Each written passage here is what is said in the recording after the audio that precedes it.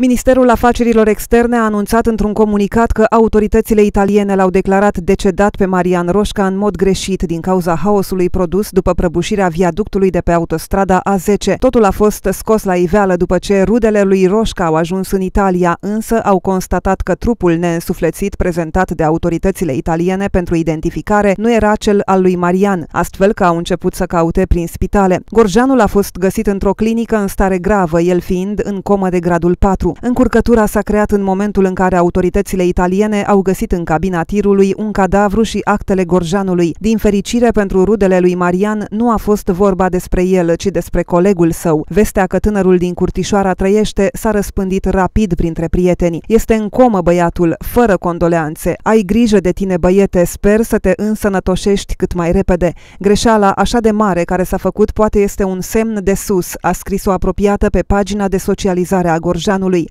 O să-și revină, încetați cu condoleanțe, mai ai multe curse de făcut, trezește-te că ai puterea. Ești tânăr, i-a transmis un prieten. Marian Roșca lucra ca șofer de tir și făcea o cursă lunară pe traseul respectiv.